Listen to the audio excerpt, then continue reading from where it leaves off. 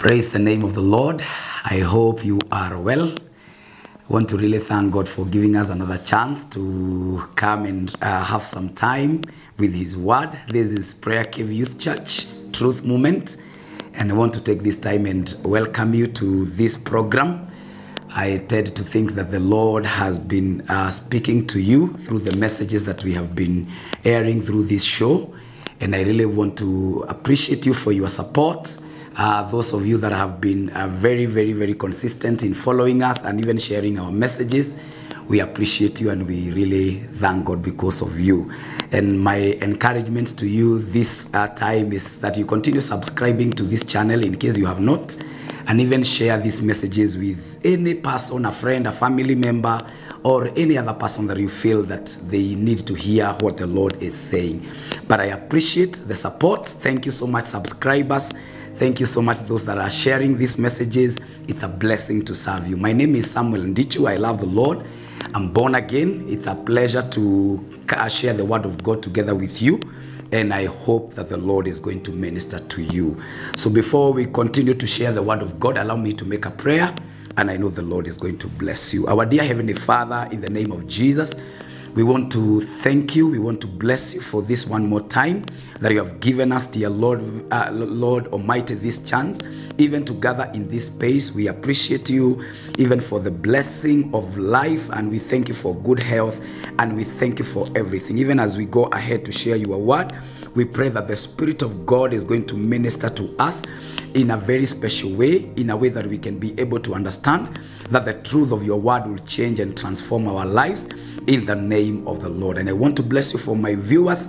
I pray that God, you touch them by your spirit in the name of Jesus. We thank you and we bless you. In Jesus' mighty name we pray. Amen. Amen. Once again, Karim today, good news. If you read the book of uh, uh, Luke chapter 4, if you read the book of Matthew, uh, you're going to see Isaiah chapter 61. This is part of the anointing that Jesus Christ carried. And I know later in this topic, I'm going to talk about that. But I want to tell you, my brother, my sister, even before I take you to something here, I want you to understand your soul can heal. You and actually, this is the will of God that you heal in the soul.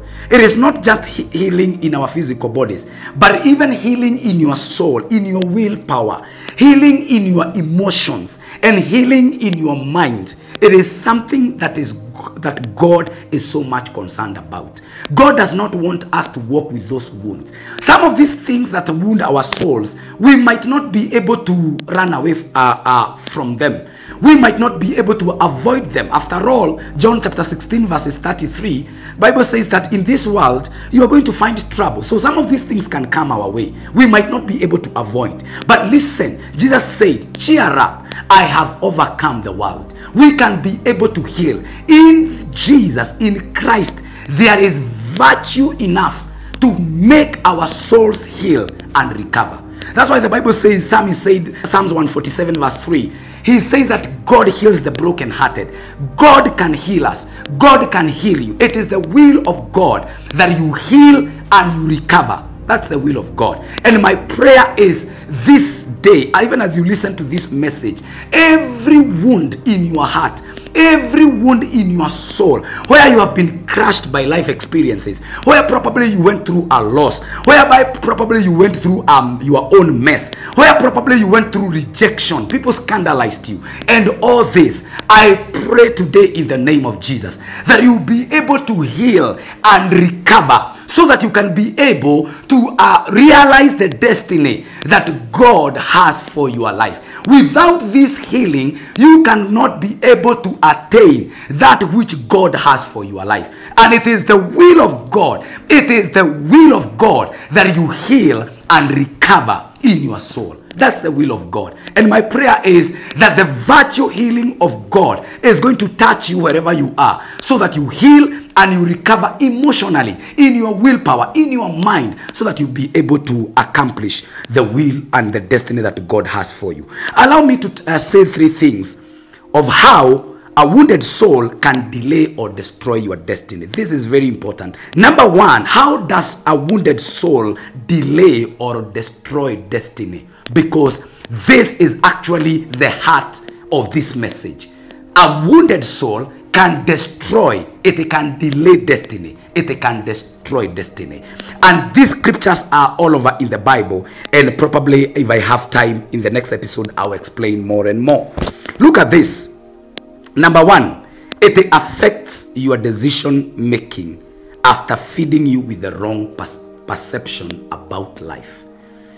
A wounded soul, it can affect your ability to make decisions after feeding you with the wrong perception or the wrong perspective about something or about someone.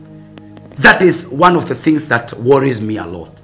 It feeds you with the wrong perspective about someone or about life.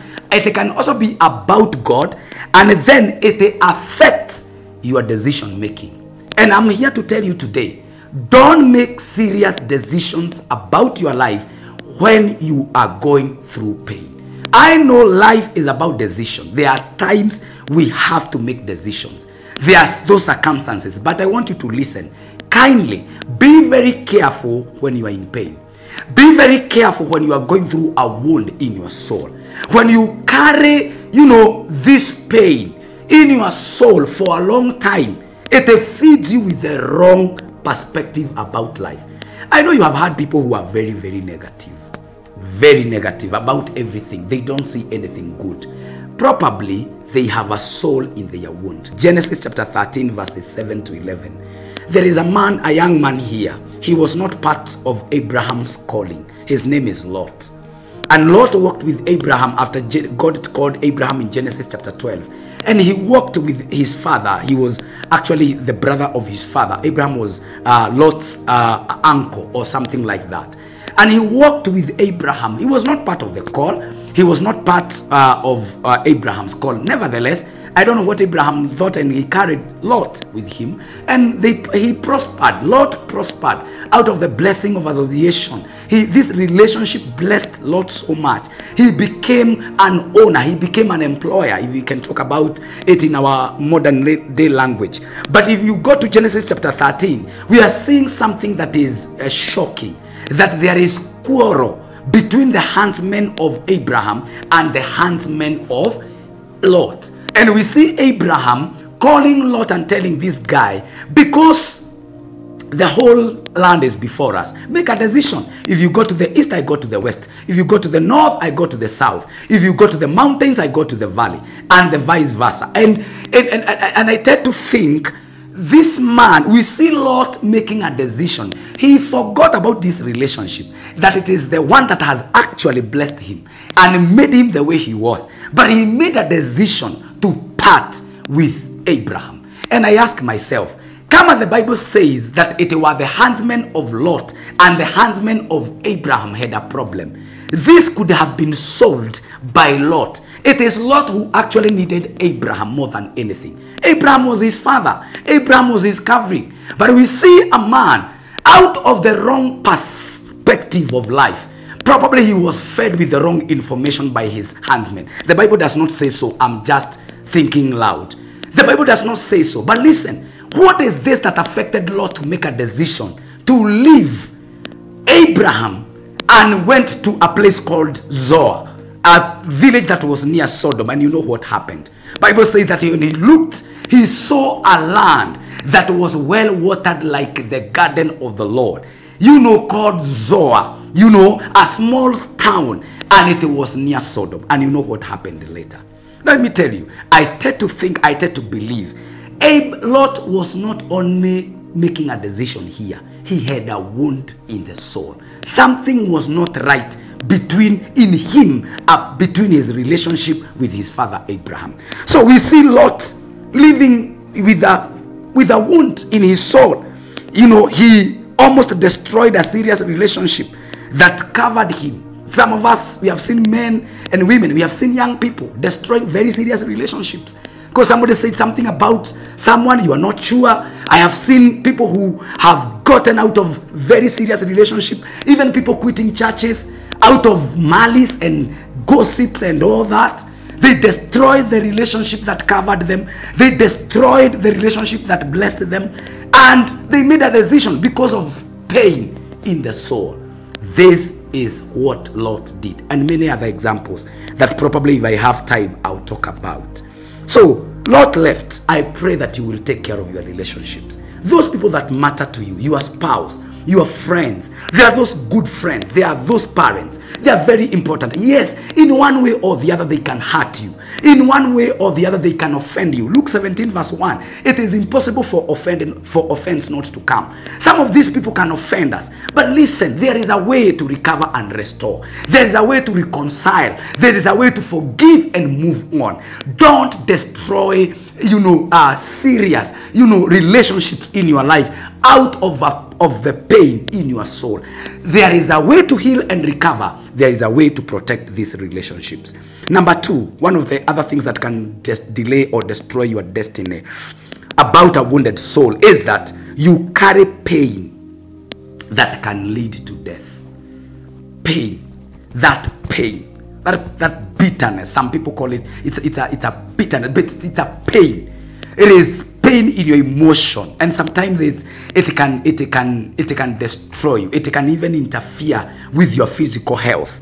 This is this if you read the book of genesis chapter 4 verses 8 there is a man called uh, uh, uh, cain. Cain was so offended by god when god received the, the, the, the sacrifice of his brother abel and did not receive his sacrifice Cain felt a lot of pain. A lot of pain. In fact, if you read from verses 3 verses all the way to verse 8 there, you see even God warning Cain and telling him, Cain, do you know there is sin that is crouching at your door? And you need to master it.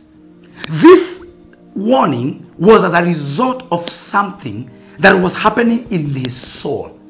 And God was worried that something is about to happen in the life of Cain. He was contemplating to kill his brother out of that pain because God did not receive his sacrifice. Have you seen people who are killing and, and, and you know and destroying people because they are better than them? Have you seen people going to the witchcraft to you know perform witchcraft and sorcery and all that? Have you seen that? Out of that pain, it can lead to death. That is how actually Cain killed his brother. Take care of that pain in your heart about somebody who did something against you. If that pain is carried for long, it can destroy people, it can actually kill people. In this era, people are cooking their spouses and their children out of that pain. Let me tell you, it's very dangerous. I don't want to talk about Saul uh, and David. I don't want to talk about that because it could take us a long time. But listen, that pain is very, very dangerous. It needs to be dealt with. You cannot assume it. God is there. Psalms 147 verse 3. I'll keep repeating this. God heals the brokenhearted and he binds up their wounds. That he, pain can, can be overcome.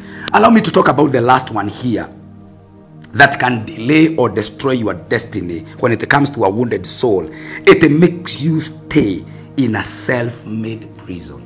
This is the story of John the Baptist. You can read Matthew chapter 11, verses 1 all the way to verse 6. John the Baptist was so offended by the fact that Jesus was still healing people. More than this physical prison, John was in a self made prison. Even Jesus is saying, Blessed is the man. Because what John did, he sent two disciples to go and check out whether Jesus is still doing crusades and all that. Because probably he thought, if Jesus is still doing crusades and all that, when I'm in prison, probably he doesn't care about me. He sent a very serious question. Go and ask Jesus, is he the Messiah or should we expect another one? And Jesus took the two disciples of John, took them to a crusade, performed miracles, healed the sick, and he told them, Go and tell John the Baptist what you have seen. But blessed is the person who is not offended of me. What was that? It indicated that John, somewhere, somewhere along the way, he put himself into a prison. Forget about the physical one. He was so offended because offense is a self-made prison. It is a self-made. I am not saying it is a good feeling. I am not saying that people have a right to offend you. I am not ignoring the magnitude of how people can walk over you and make you offended. I'm not ignoring that. I have gone through it and I tend to think probably at some point. But listen, it is not unto us to take that offense. God does not want us to take in that offense. No, because when you take in that offense, you put yourself in a prison. And even Jesus, I don't know whether he could help this man in that state. He was so offended. Three things that can actually delay or destroy your destiny. Number one, this wounded soul it affects your decision making because it affects the mind number two it makes you to carry a pain in your heart your emotions are so wounded number three it puts you in a self-made prison and i'll talk about this more but the good news is we can deal with this pain. God is actually ready to heal us. If you read the book of Isaiah 53, the Bible talks about uh, Jesus, how he will come and he was crushed for our iniquities, he was chastised for our peace. God wants you to enjoy peace in your soul. He doesn't like you when you are carrying bitterness and grudges and unforgiveness and people in your heart, regardless of what they did to you. At some point, God wants your soul to prosper, and this is the will of God. My prayer is that the Lord will heal your heart and make you recover from all this pain so that you can go faster to the uh, destiny that God has kept ahead of you. In the name of Jesus, may every pain in your soul be healed so that you run the race that is already marked for you. May the Lord God bless you. See you in the next episode. This is Prayer Cave Youth Church, the truth moment. Don't touch that dial. God bless you.